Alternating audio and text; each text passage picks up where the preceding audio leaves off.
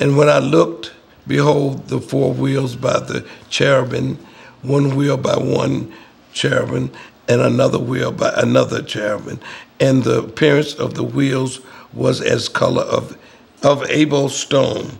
And as for their appearance, the four had one likeness, as if a wheel had been in the midst of a wheel, the wheel within a wheel.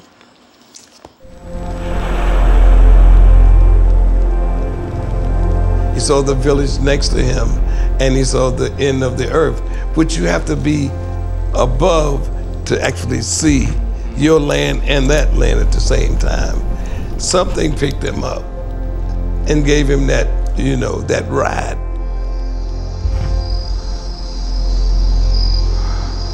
Here you are. I know you're there. It was coming straight at me until I pulled the camera out and then it disappeared. Now it's right there.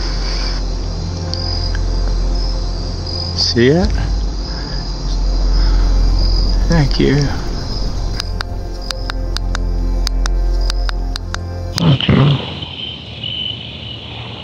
That's weird. We had just finished um, the Mothership album. That's what's weird about it. So on the way back, Boots and I driving along. We happy we done finished the album. We're gonna go to Bimini. We're gonna go fishing. On the way back to my uh, house in Mississauga, we see a light, like a like a laser, like straight from the sky, clear day, and it splattered like electricity, you know, sparks, like two blocks away.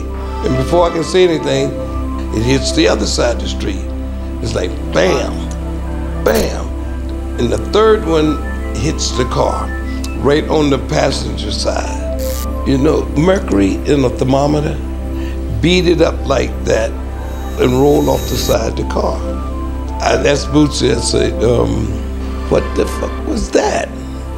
What the hell was that? And we just drove up to my house, sat in the parking lot. We didn't even move.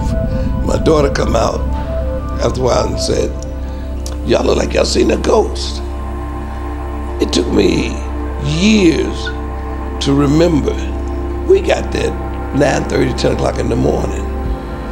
And my daughter was talking about going to bed. I called Bootsy up and said, why would she be going to bed? Time was missing. We never even contemplated the time being missing. You know, I know if you talk about this, you're crazy. We wasn't on drugs because you had to come through the border. I, w- I could have gave a good excuse if I'd have been high.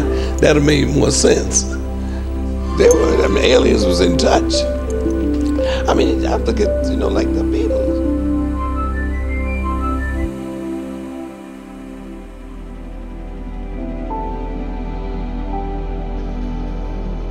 Tell me that ain't a UFO, yo. I told you. That's the second one. Yo, we about to go to war and we ready. It's real out here. Independence Day. What the fuck is that? Like that is the craziest shit I've ever seen in my life, bro. It's like it's so cool. I kind of believe that we came here from another planet, and all of that is coming back in our DNA. Um, I got a feeling we're gonna find out a lot of that stuff in the next few years. It seems like it's coming to pass real quick now. You can see in the artwork, I relate a lot to dogs and aliens, and wait till we find out that we got part DNA of aliens and all kind of entities. I don't. This didn't just start.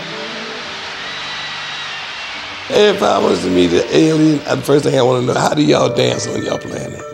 I want to make sure you got a booty that you can shake. I mean, if you ain't got no booty, what do you shake? You know.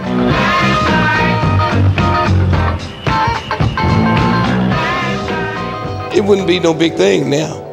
I mean, with the shit that goes on every day, aliens would be a breath of fresh air. When are y'all gonna show up for the party? I mean, I wish I could be around to, to hang. It's gonna be fun.